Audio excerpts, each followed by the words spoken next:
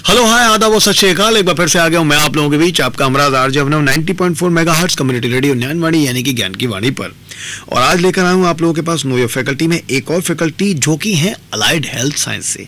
उनसे हम कुछ सवाल करेंगे, सर के बारे में जानेंगे और सर से उनकी फ़ील्ड के बारे में ज़्यादा बातचीत करेंगे आज। जिनका नाम है डॉक्टर प्रसाद कुलकर्णी, जो एसोसिएट प्रोफेसर हैं, transfusion medicine D I Y P immuno haematopathology department और MD pathology F R L T M M C Sion से उन्होंने किया है। Has worked at J J hospital for over eight years now here for at least four years और इस वक्त वो हैं यहाँ पर अलाइड हेल्थ साइंसेज से। तो सर से कुछ सवाल करते हैं उनका वार्म वेलकम करते हैं और शुरुआत करते हैं सवालों का सिलसिला। सर कैसे हैं आप? How are you I am fine. Thank you for introducing me. It's kind words. Very warm welcome sir sir आपकी फ़ील्ड से कुछ सवाल करता हूँ।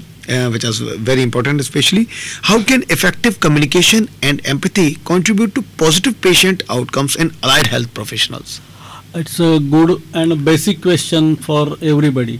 Communication is an integral part in patient healthcare, and as a it's a uh, true for all professions. It Ji. requires in hospital, as in a situation with patient relatives as well as team members, authorities. While communicating with all these, you should have proper uh, communication skill. Uh, with effective communication, uh, you can ensure trust and empathy towards each other. Uh, uh, patient know you, and uh, even your team members trust you while what you are working. okay my second question explain the importance of interdisciplinary collaboration in allied health settings provide examples of how different healthcare professionals can work together to improve patient care We have different allied healthcare specialties. Uh, starts from anesthesia, uh, transfusion medicine, as well as uh, uh, diagnostic areas. In hospital scenario, there are different specialties taking care of patients simultaneously. Amongst different specialties, uh, you can uh, refer patients to each other and uh, differ, different uh, a single patient is taken care by multiple departments simultaneously. Hmm. For example, a patient requires some operation, then first visits to surgeon, and uh, he he will be uh, looked by examined by uh, surgeon, and then he asks some more diagnostic tests. That patient will be referred to again radiology, pathology. Pathology hmm. in that area if you get some uh, diagnosis or any more information then doctors uh, op- op- can operate them for further uh, procedure. Then he will be posted for in a uh, op- operation in a hospital setup. Hmm. at that time he will be taken care by uh, anesthesia department for a pre-anesthetic checkup. Okay. And uh, can be counselor come there hmm. to counsel about uh, investigation as well as operative procedures. जी On the day of operation, he will be taken care by anesthesia department, various staff nurse and all. These are allied professions. And after that, post-operative care like physiotherapy, occupational therapy, nutritional, and uh, sometimes psychotherapy is required. All these are allied professions. Allied professions. So they uh, look after the patient in holistic approach. holistic approach. Yes great. How have recent technological advancement impacted allied health professions?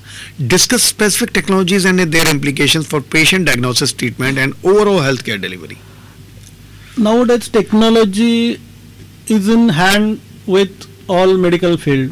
Yes. Innovations on the uh, uh, so they're actually going on daily and daily. Daily daily. So every specialty is supported by technology but it should be uh, in skilled hands yes I uh, stress on skilled hands because only machine is not important, but skill entity, individual behind that machine is important. And uh, if you give that uh, machine to untrained person, Hmm. again it will be danger for the patient as well as all the setups, resources will be uh, waste. Nowadays, uh, I I am a pathologist, so oh yes uh, from uh, initial days we read all CBC parameters, but nowadays there are innovations, cell counters. First came three part only uh, differential. There are technical. These are technical terms. Uh, students may uh, or- are oriented with this, but nowadays five part, six part. Any uh, further scope is there for any research and uh, all together they are giving more information. Nowadays AI, artificial intelligence is there, but again i stress on individual those are skilled in it have orientation and they are ready to operate this technology so technology as well as training both are crucial in innovation as well as implementation of innovation in healthcare Okay. Why is cultural competence important in allied health professions and how can healthcare providers ensure they provide equitable and sensitive care to individuals from diverse backgrounds? uh, we uh, call india as a diverse uh, diversity in Yes, unity diversity in unity, yes. So thing is that uh, we have different backgrounds or some patients of uh, different religions. They have their own customs. They have their yes. own routine. So while communicating with patients, we should take these consider some uh, community have fast in uh, different uh, months or that. While uh, uh, taking consideration of his appointments and all that, if we take consideration of these things of cultural beliefs and we uh, everybody is um, have proud of their own customs and beliefs so we have to take consideration of these things while communicating with patients also Okay. so this is important uh, for the uh, good patient uh, relationship Okay. How can practitioners integrate the latest research findings into their clinical decision making process and why is this approach crucial for improving patient outcomes? And that is the last question, sir. okay. So the uh, the thing is that uh, latest research is uh, not only on the paper or not only the labs.